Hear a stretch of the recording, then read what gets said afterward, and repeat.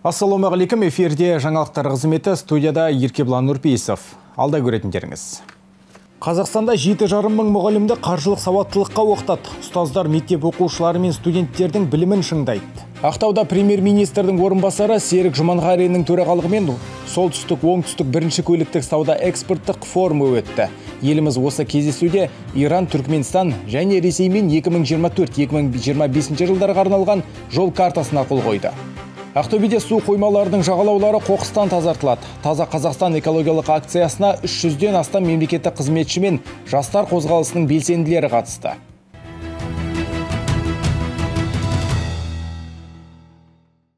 Қазақстанда жеті жарым мың мұғалімді қаржылық сауаттылыққа оқытады. Ұстаздар мектеп оқытушылары мен студенттердің білімін шыңдайды.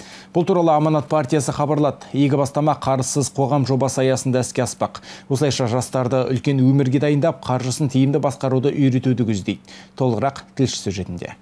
Мектеп мұғалімдері мен колледж университетте сабақ беретін оқытушылар арнайы семинарға қатысады. Қатысушылармен Аманат партиясының төрағасы Ерлан Қосжанов, ғылым және жоғарғы білім министрі Саясат Нұрбек пен оқу ағарту министрі Ғани Бисенбаев кездесті. Мәжіліс төрағасы ұстаздар білім әлеміне бағыттайтын тұлға. Жастар мұғалімдерден үлгі алады дейді қарызсыз қоғам жобасын былтырғы жолдауда қолдады. Жалпы ұлттық жобаға айналдыру керек деген үкіметке де басқа да мемлекеттік органдарға тапсырма берді. Бірақ болашақ біздің азаматтарды дайындамаса онда оның барлығы зая кетеді. Сондықтан оқушыларымыз бен студенттерімізді дайындау қаржылық сауаттылығын арттыру осыны оқыту үшін біз бүгінгі күнде мектептерде университеттерде арнайы бағдарлама енгізу. Өйткені біздің бүгінгі мектептегі оқушыларымыз олар ертеңгі біздің еліміздің қоғамның азаматтары. Оларды біз өмірге дайындауымыз керек.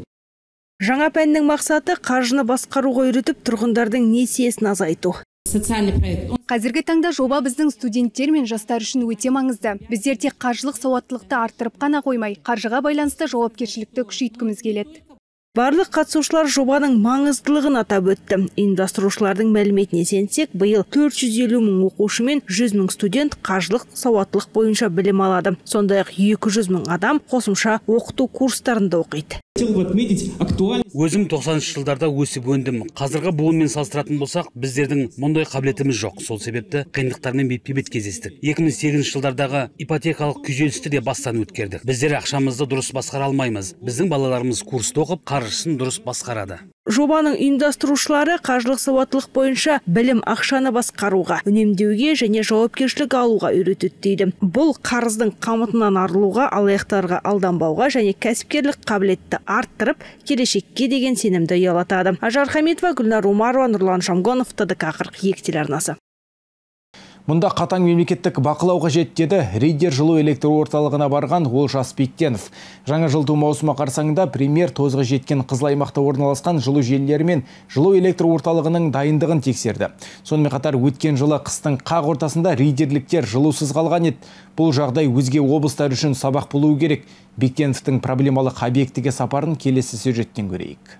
Айтқандай, өткен жылы Риддердегі жылу электр орталығында болған апат салдарынан тұрғындар бірнеше рет жылусыз қалғаннан кейін қазір нысан модернизациядан өтіп жатыр. Жабдықтың тозуы 57 бүтін оннан 7 пайызды құрайды. Оны жөндеуге биыл 8,5 миллиард теңге бөлінді. Оның 7 миллиардтан астамы республикалық бюджеттен және 1 бүтін оннан 1 миллиарды облыстық бюджеттен. Жылту маусымының басында екі қазандық қондырғысын іске қосу жоспарлануда. Қалған қондырғылар қашан қойылатыны күннің суытуына қарай белгілі болады работа идутся жұмыстар кестеге сай жүргізілуде. Жоспардан артта қалу жағдайы жоқ. Барлық қосалқы жабдықтар түгенделіп жөндеу үшін базаға жеткізілді. Турбиналық цехтың қосалқы жабдықтарын ауыстыру жұмыстары жүргізілуде. Тағы бір маңызды пункт ауысымында 500 адам қабылдайтын емханасы және 200 орынды қамтитын станционары бар аурухана кешені. Ол 80 жылдан бері жұмыс істеп келе жатырған медициналық мекеменің орнына салынуда. Жаңа көпбейінді кешеннің жалпы ауданы 40 мың метр квадратты құрайды. Жоспардың 60 пайызы орындалған. Әрлеу жұмыстары жүргізілуде. Жылытудың 100 пайызы жасалды десек болады. Су мен кәріз тартылды. Шатырында бітірдік. Витраждар мен терезелер бар. Қазір біз қаспет жасаймыз. Онымен бірге стационар бойынша жұмыстарды да жүргіземіз.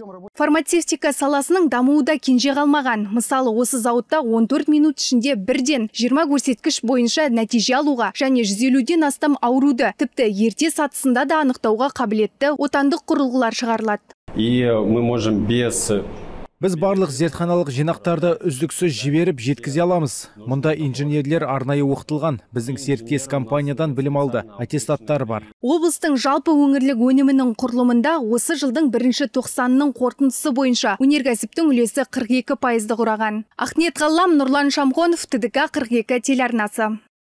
Ақтауда премьер-министрдің орынбасары Серік Жұманғаринның төрағалығымен солтүстік оңтүстік бірінші көліктік сауда экспорттық форумы өтті.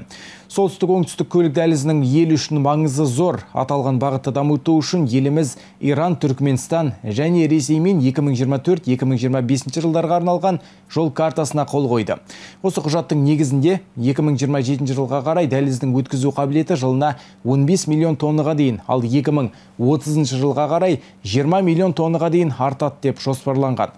Форумға 12 елден 440-тан астам қатысушы экономикалық ынтымақтастық ұйымының және Еуразиялық экономикалық комиссияның өкілдері қатысты.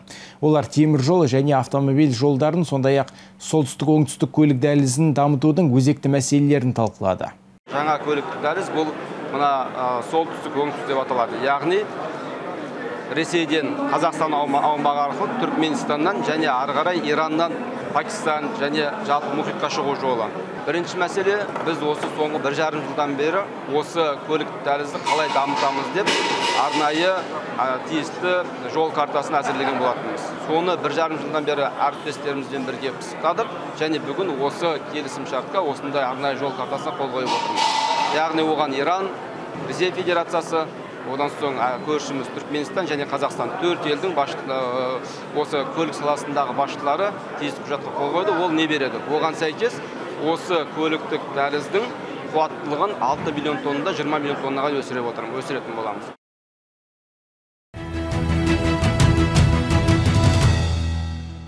Уралда Зачаганск кентіндегі үйлердің бірінен өрт шықты. Оқиға 22 шілде күні 70 шаршы метр аумақта болған. Төтенше жағдай департаментінің хабарлауынша өрттен зардап шеккендер жоқ. Тілсіз жаудың шығу себебі анықталуда. Сондай ақ 20 шілдеде өрт оқиғасы Бәйтерек ауданы Көшім ауылында да тіркелді. Өрт орнына келген кезде 60 шаршы метр алаңында гараж жанып жатқаны анықталды. Өртті жоюға департаменттің жеке құрамынан екі бірлік техникасымен жеке құрамнан жеті адам жұмылдандырылды. Өрт 3 сағат 14 минутта оқшауланып 3 сағат 45 минут толықта жойылды. Қазіргі уақытта өрттің мекенжайы мен себептері анықталуда. Жыл басынан бері су айдындарындағы қауіпсіздік қағидаларын сақтамаған 8 азамат әкімшілік жауапкершілікке тартылды. Бұл туралы төтенше жағдайлар департаменті өкілдері судағы қауіпсіздікке арналған рейдтік іс-шара барысында мәлімдеді құқық бұзушы азаматтар Қазақстан Республикасы әкімшілік құқық бұзушылық туралы кодексінің 412 бабына сәйкес жауапқа тартылды. Статистикаға сүйенсек, облыс аумағында жыл басынан бері су айдындарында 6 адам ажал құшқан. Оның ішінде төртеуі кәмелет жасына толмағандар. Осы орайда төтеншеліктер қала тұрғындары мен қонақтарын қауіпсіздік қағидаларын сақтауға шақырады құрметті облыс тұрғындары және қонақтары су айдындарында қауіпсіздік қағидаларын қатаң түрде сақтауларыңызды сұраймыз.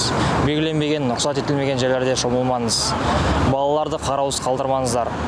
Суға мас күйінде түспеңіздер. Түркістан облыста полиция департаментінің қызметкерлері 19-20 шілде күндері жолда қабылдау акциясын өткізіп, облыс тұрғындарын қабылдады. 22 орында өткен акцияның екі тәулігінде тәртіп сақшылары 220-ға тарта тұрғынның мәселесіне ден қойды. Азаматтардан келіп түскен әрбір сауалға заң аясында құқықтық кеңес берілді. Мәселен, тұрғындардың толғандырған мәселелердің көпшілігі автомобильдерді тіркеуге, жүргізуші куәлігін алуға және айыппұлдарды көші-қон қызметі мен кадр саласын жетілдіруге, айыппұлды уақытылы төлеуге қатысты болды. Жалпы бұл акцияның өткізудің негізгі мақсаты тұрғындар мен полиция қызметкерлерінің арасында кері байланысты нығайтып, ашықтықты қамтамасыз ету халыққа қолайлы жағдай жасау болып табылады. Орал қаласындағы облыстық экологиялық биологиялық орталықта жөндеу басталды. Бұл жұмыстар тамыз айының аяғына дейін жалғаспақ. Көктемгі су тасқыны кезінде флора мен фаунаның алуан түрі жинақталған орталық қатты зардап шекті. Мекеменің қызметкерлері қиындықты абыроймен еңсердік дейді. Экологиялық биологиялық орталықтың жұмысы туралы толығырақ келесі сюжетте Оралдағы экологиялық биологиялық орталық өз жұмысын 1958 жылдан бастады. Содан берлі түрлі қиын кезеңді бастан өткерді. Соңғысы осы көктемгі су тасқыны. Тасқын судан орталықтың зардап шеккен аймағы көп, жылыту қазандығы да істен шығыпты. Биыл су тасқынына мезгілінде бітлі жануарлар бір дамында қалған жоқ, бәрі да орналастырылды.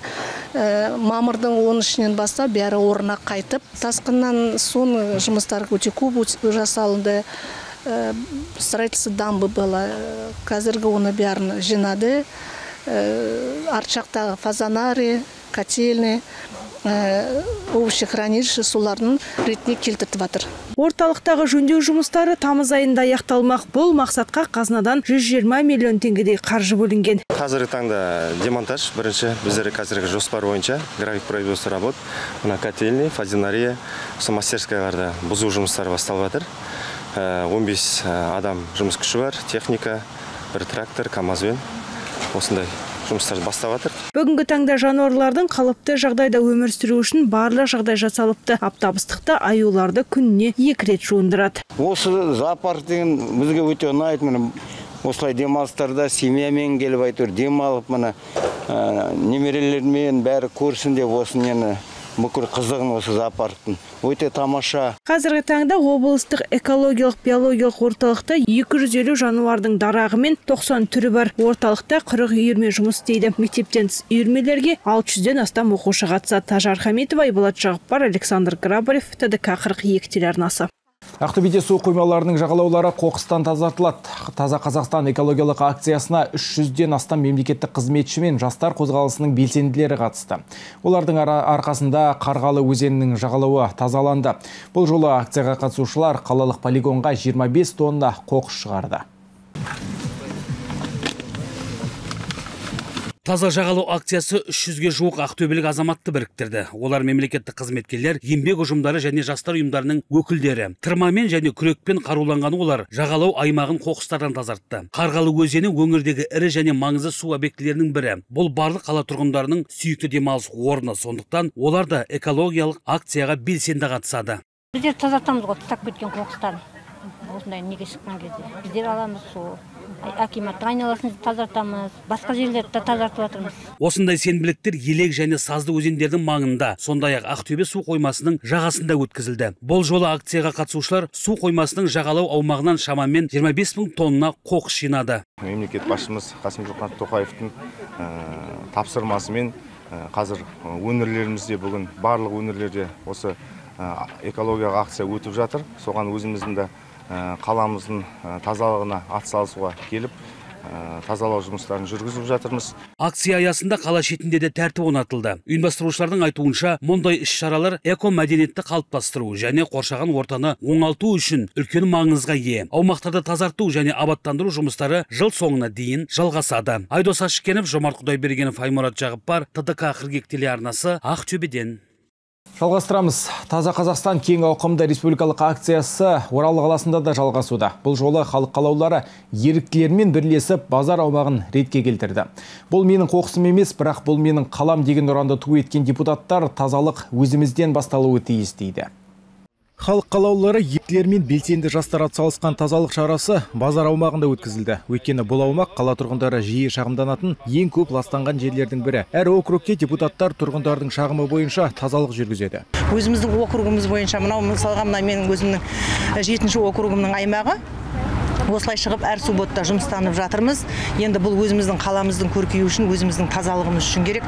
Енді тек қана біз керек біз керек деп біздерге шапқылай беру енді ол да бір жағынан болмайды. Негізі бұл енді халықтың өзінің жалпы ойында болу керек қой. Әркім өзінің үйінің айналасынан бастау керек. Тазалық деген табалдырықтан басталады дейді ғой. Әр әр тұрғын өзінің үйінің айналасынан бастап осындай сенбіліктерге атсалысуға халықты тұрғындарды шақырамын. Баршаңызға белгілі орал жасыл қала мәртебесіне ие. Бұл статусты сақтап қалу біздің басты міндетіміз дейді белсенді жастар. Бірақ та біз тек қана бүгін емес сондай ақ осы күні деген әр сенбі күн сайын сенбілік өткіземіз. Мысалға біз осы күні кеше біз жайық қалашығында сенбілік өткізген болатынбыз. Біздің осы жалпы мақсатымыз орал қаласындағы деген тазалықты сақтау. Сондай ақ осы республика біздің орал қаласымыз танымал жасыл қала атағын осылай сақтап қалу болады.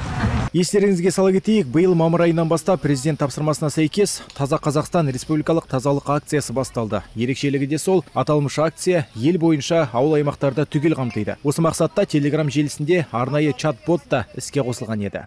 Бұл аумақта бірнеше апта бұрын қала жастары тұрғындар мен белсенділер сенбілік өткізіп күл қоқыстан тазартқан еді. Арада бір ай өтпей жатып мінекей бұл жер қоқыс полигонына айналды. Бұл менің қоқысым емес бұл менің қалам деген ұранды ұстанған халық қалаулылары тұрғындарды тазалықты сақтауға шақырады. Еркебұлан серікұлы нұрлан күнашев асылбек абекенов тдк қырық екі телеарнасы. Қыркүйек айында батыс қазақстан облысы мәдениет тілдерді дамыту және архив ісі басқармасының қолдауымен қадыр орталығы және сырым ауданы әкімдігінің ұйымдастыруымен қадыр оқулары өтеді. Байқау мемлекеттік сыйлықтың иегері қазақстанның халық жазушысы қадыр мырзәлі қадыр мырзәлінің шығармашылығын насихаттауға арналған қадыр қазына жобасы аясында ұйымдастырылмақ. Қадыр мырза әлі ұлы абайдан кейін ең көп оқылатын әдеби тұлға ретінде поэзия сүйер қауымның жадында. Шығармаларын еңбектеген баладан еңкейген кәріге дейін сүйсініп оқиды. Әсіресе мектеп оқушыларына қаңтарда туған ақынның поэзиялық туындылары жақсы таныс. Дәстүрлі өтетін қадыр оқуларының биыл ауқымы кеңеймек. Алғаш рет жалпы білім беретін мектептердің оқушыларынан бөлек мұғалімдердің арасында да үздіктер анықталмақ. Байқау үш кезеңнен тұрады. Бірінші кезең аудандық кезең яғни барлық аудандарда әр ауданда жоқ дегенде жиырма шақты мектеп бар. Әр қайсысынан бір бір мұғалімнен қатысып аудандық байқауға сынға түсу қажет. Қадір оқулары бұл деген мұғалімдер яғни ұстаздар арасында өткізіп отқан байқау. Жалпы аудандық кезеңнен өткен ұстаз әрқайсысы жүз өлеңнен жаттап аудандық кезеңге қатысады. Одан жеңімпаз атанған ұстаз облыстық кезеңге жолдама алады. Ал облыстық кезең жеңімпазы республикалық деңгейде өңір намысын қорғайды. Байқау қатысушыларының жас ерекшелігіне шектеу қойылмайды. Алайда сахна мәдениетін сақтау киім кию үлгісі жатқа білетін өлеңдер саны оны нақышына келтіре оқу тіл тазалығы сөздердің дыбысталу заңдылығын бұзбау талап етіледі. Бірі мен оныншы қыркүйек аралығында яғни аудандарда және қалада өту керек кезеңдер. Сонымен қатар оны мен жиырмасы аралығында облыстық кезеңді өткіземіз қыркүйектің жиырма төрт жиырма алтысы аралығында республикалық деңгейдегі сайыс оздырылады. Осылайша біз үш кезеңді қадыр оқулары екі мың жиырма төрт байқауымен ұйымдастыратын боламыз. Келер жылы қадыр ақынның туғанына 90 жыл толады. Мерейлі датаға орай кең ауқымды іс шаралар жоспарланған. Қадыр оқулары байқауы қадір қазына жобасы аясында өткізіліп келеді. Соның ішінде ұстаздар арасында қадір шығармашылығын насихаттау дәстүрге айналмақ. Өйткені қадірдің елі оны өлеңімен сусындап артында қалған өшпес мұраны өскелең ұрпаққа жеткізуі тиіс. Айым сүлейменова марлен есқалиев аймұрат жағыппар тдк 42 телеарнасы. Шахмат көп ғасырлық тарихы бар интеллектуалдық ойын. Күнтізбеден шахмат күні де бекітілген. 1966 жылдан бастап 20 шілде жыл сайын халықаралық шахмат күні ретінде аталып өтіледі. Өңірімізде бұл ойын түрінің даму қарқыны қалай? Сюжеттен білейік. Бұл мереке 1924 жылы әлемдік шахмат федерациясы шешімімен Париж қаласында бекітілген болатын. Өңірімізде осы интеллектуалдық ойын түрімен 2286 бала шұғылданады. Қазіргі уақытта оларды дайындайтын номері екінші балалар жасөспірімдер спорт мектебінде шахмат бөлімі және даму бала бағдарламасы шеңберінде Орал қаласы бойынша 38 үйірме, Батыс Қазақстан облысы аудандары бойынша 11 үйірме жұмыс жасайды. Сонымен қатар аудандарда 11 үйірме яғни бөрлі ауданы ақжайық ауданы бәйтерек ауданы теректі ауданы казталов аудандарында 288 оқушы жаттығады. Жалпы өңірімізде шахматпен шұғылданатын спортшылардың саны 2286 2023 жылы Қазақстан Республикасында шахматты дамытудың 2023-2027 жылдарға арналған кешенді жоспары қабылданған еді. Ол үш негізгі бағытта жұмыс жасайды. Білім беруде мамандандырылған шахматтың даму үрдісін қалыптастыру, бұқаралық ақпарат құралдары арқылы әр турнир соңында хабар беру және шахматтың кең етек жаюына ықпал ету. Жаңа жоспар бойынша жақсы жаңалықтар да жоқ емес Что в Уральске сделано по этому? Оралда осы бағдарлама бойынша 37 және 50 орта мектептерде шахмат сыныптары жабдықталды. Сонымен қатар 2023 жылы 5 мұғалім біліктілігін арттырды. 2024 жылдың тамыз айында 25 мұғалімді жіберу жоспарлануда. Қазақстан Республикасы білім министрінің желісі бойынша қалалық мектеп лигасы гимназияда олимпиада турнирлері өткізілді. Нәтижесінде 2023 жылы Батыс Қазақстан облысы командасы Астанадағы республикалық олимпиадада үшінші орын алды. Сонымен қатар даму бала мемлекеттік бағдарламасының арқасында жекеменшік мектептер дамуда. Кез келген спорт түрі секілді шахматта да табысқа жету формуласы қарапайым. Жүйелі жаттығу, жауапкершілік және жеңіске деген табанды ұмтылыс. Шаһарымызда шахматтан қарсылас шақ келтірмейтін жеңімпаздар көп болсын. Ақниет Ғалам, Аймұрат Жағыппар, Марсель Шайхиев, ТДК 42 телеарнасы.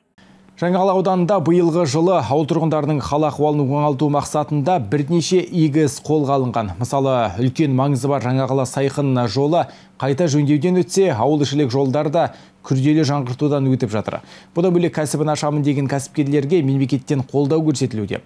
Жаңағаладағы жақсы бастамалар туралы Айдос айтады. Жаңақала ауданы Батыс Қазақстан облысының оңтүстігінде орналасқан. Биылғы жылы ауданда атқарылып жатырған жұмыстар қарқынды жүруде. Ауыл ішілік жолдар қайта салынып, бір бөлігі күрделі жөндеуден өтіп жатыр. Және бір жақсы ақпар көп қабатты үйдің аулалары абаттандырылып, ауылдағы ағайынның жүріп тұруына ыңғайлы жағдай жасалынбақ. Сондай игі жұмыстың бірі Қали Жантілеуов көшесіндегі 10 көп қабатты үйдің ауласы. Мамырдың аяғында басталған құрылыс тамыз айының соңында толықтай бітпек. Оған облыстық бюджеттен 360 миллион теңге бөлінген. Облыстық бюджеттен 360 миллион бөлінген болатын. Былтырғы жылы 100 миллион биылғы жылы қалған суммасы. Ал әр ауланың ә, несінде кіреберісінен бастап жаяу жүргіншілер жолы. Одан бөлек ә, әр аулада өзінің автотұрағы ә, немен брусчатка дейміз ғой 8 сантиметрлік жолға 4 сантиметрлік жаяу жүргіншілер жолы. Одан бөлек мына жерге ә, футбол алаңы ә, балалар алаңы және спорт алаңдары түсетін болады. Бүгінде жаңақала дамыған аудандардың қатарында. Ауданның дамуына қосқан кәсіпкерлердің де үлесі бар. Өйткені аудан шикізат болсын ет сүт өнімдерімен өзін өзі қамтуда. Кәсібін бастаймын дегендерге мемлекеттен қолдау бар. Сондай көмекті көріп отырған әсел зұлқарнаева бүгінде ауданды ет өнімдерімен қамтамасыз етіп отыр. Сапасы жоғары қолдан жасалған өнімдер ауыл аймақта сұранысқа ие. Еттен бастадық бірінші. Еттен бастап содан жайлап мына шек өнімге жайлап қосылдық. Содан өзім мастер класстар өтіп содан қазір енді өндіріп жатқан жайымыз бар. Барлық өніміміз таза табиғи қолдың етінен жасалып жатыр барлығы. Тауықтың етінен өзіміз жуып шайқап барлық еттерді өткізіп содан соң жаңағы осындай полуфабрикатта шығарып кісілерге тұтынып жатырған жайымыз бар. Сонымен қатар биылғы жылы ауданның тынысына айналған соркөл арнасына толып ауылдағы ағайынның демалыс орнына айналды. Балшығы мен суының емдік қасиеті бар соркөлдің толуы жаңа халықтар үшін қуаныш. Өйткені су бар жерде ырыс береке бар. Айдос ашыкенов нұрлан конашев марсел шайхиев тдк қырық екі телеарнасы. Су тасқынынан зардап шеккендерге арналған тұрғын үй құрылысы қалай жүріп жатыр? Бұл туралы 23 шілде өзекті бағдарламасында талқыланбақ. Эфир тізгіншісі Жандос Хамза. Бүгінге келіп түскен жаңалықтар легі осындай. Келесі эфирде жүздескенше аман болайық. Жүргізушілерге киім үлгісін ұсынған Купер дүкені. Купер ерлерге арналған киім дүкені Сити Центр сауда ойын сауық кешенінің үшінші қабатында және Азия Мол сауда ойын сауық орталығының бірінші қабатында орналасқан.